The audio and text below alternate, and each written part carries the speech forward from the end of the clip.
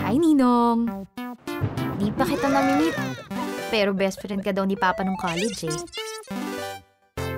Alam mo, sana makilala na kita. Malaki na po ako, 19 years old na nga ako eh.